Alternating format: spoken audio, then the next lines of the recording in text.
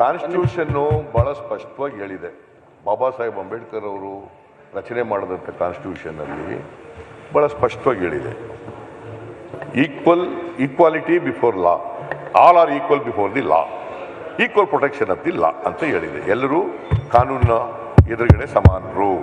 ಎಲ್ರಿಗೂ ಕಾನೂನಿನ ರಕ್ಷಣೆ ಆಗಬೇಕು ಸಮಾನವಾಗಿ ಅಂತ ಭಾಳ ಸ್ಪಷ್ಟವಾಗಿ ಹೇಳಿದ್ದಾರೆ. ಆ ಈ ಪ್ರಿನ್ಸಿಪಲನ್ನು ಬದಲಾಯಿಸಿ. ಇಂಡಿಯನ್ ಪೀನಲ್ ಕೋಡ್ ಆಗಿ ಸಾವಿರದ ಎಂಟುನೂರ ಅರವತ್ತೊಂದು ಮೆಕಾಲಯನವರು ಮಾಡಿದ್ರು. ಹದಿನೈದಕ್ಕೆ ಕೂತಿದ್ದೀವಿ ಇವತ್ತಿನವರಿಗೆ. ಇಂಡಿಯನ್ ಕಾನ್ಸ್ಟಿಟ್ಯೂಷನ್ ಬಂದು ಸಾವಿರದ ಒಂಬೈನೂರ ಐವತ್ತು ಜನವರಿ ಇಪ್ಪತ್ತ ಆರ್- ಆರನೇ ತಾರೀಕು ಇನ್ನು ಬದಲಾವಣೆ ಆಗಿಲ್ಲ. ಅದೇ ಇದೆ provision all are equal before law equal protection of law ಹೆಣ್ಣು ಮಕ್ಕಳು ಇದ್ದಾರೆ. ಇದರಲ್ಲಿ ನೀವು ಕಾನೂನು ಈ ಇದರಲ್ಲಿ ಸೆಕ್ಷನ್ ಫೈವ್ನಲ್ಲಿ ಹೆಣ್ಣು ಮಕ್ಕಳು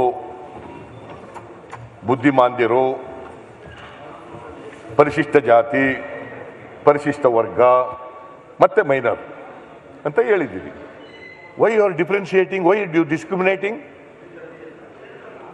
ಅವ್ರಿಗೆ ನೀವು ಪ್ರೀತಿ ಇದ್ರೆ ಶಾದಿ ಮೇಲೆ ತರಬೇಕು ಅನ್ನೋದಾದ್ರೆ ಎಲ್ಲರೂ ಕಾನೂನು ಮಾಡಿ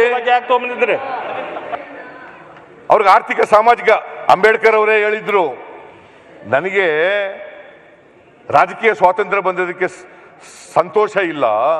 ನಮ್ಮ ಜನರಿಗೆ ಆರ್ಥಿಕ, ಸಾಮಾಜಿಕ ಸ್ವಾತಂತ್ರ್ಯ ಸಿಕ್ಕಿದಾಗ ಮಾತ್ರ ನನಗೆ ಸಂತೋಷ ಆಗ್ತದೆ ಅಂತೇಳಿ ಅಂಬೇಡ್ಕರ್ ಅವರು ಹೇಳಿದ್ದು. ಅದನ್ನು ಮಾಡಿ ನಾವು ಅದಕ್ಕೋಸ್ಕರನೇ ಅವ್ರ ಜನಸಂಖ್ಯೆಗೆ ಅನುಗುಣವಾಗಿ S C P, T S ಪಿನಲ್ಲಿ ಇಪ್ಪತ್ನಾಲ್ಕು ಪಾಯಿಂಟ್ ಒಂದು ಪರ್ಸೆಂಟ್ ಅಭಿವೃದ್ಧಿ ಹಣದಲ್ಲಿ ಹೋಗ್ಬೇಕು ಅಂತ ಕಾನೂನು ಮಾಡದ್ದು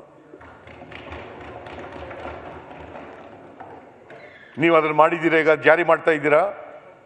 ಈ ವರ್ಷ ಇಪ್ಪತ್ತೈದು ಸಾವಿರ ಕೋಟಿ ಇಟ್ಟಿದ್ದೀರಿ. ನಾವು ಕೊನೆಯ ವರ್ಷ ಬಜೆಟ್ ಮಂಡಿಸಿದಾಗ ಮೂವತ್ತು ಸಾವಿರ ಕೋಟಿ ಇತ್ತು. ಇವತ್ತು ಇಪ್ಪತ್ನಾಲ್ಕು ಸಾವಿರ ಕೋಟಿಗೆ ಹೋಗಿದೆ. ಬಜೆಟ್ ಅವತ್ತು ಎರಡು ಎರಡು ಲಕ್ಷದ ಎರಡು ಸಾವಿರ ಕೋಟಿ ಇತ್ತು ನಾವು ಮಂಡಿಸಿದಾಗ. ಇವತ್ತು ಎರಡು ಲಕ್ಷದ ನಲವತ್ತೇಳು ಸಾವಿರ ಕೋಟಿ ಆಗಿದೆ. ಪ್ರತಿ ವರ್ಷ ಹೆಚ್ಚಾಗಬೇಕು, ಅದರ ಕಡಿಮೆ ಆಗ್ತಾ ಇದೆ? ಕಡಿಮೆ ಆಗ್ತಾ ಇದೆ?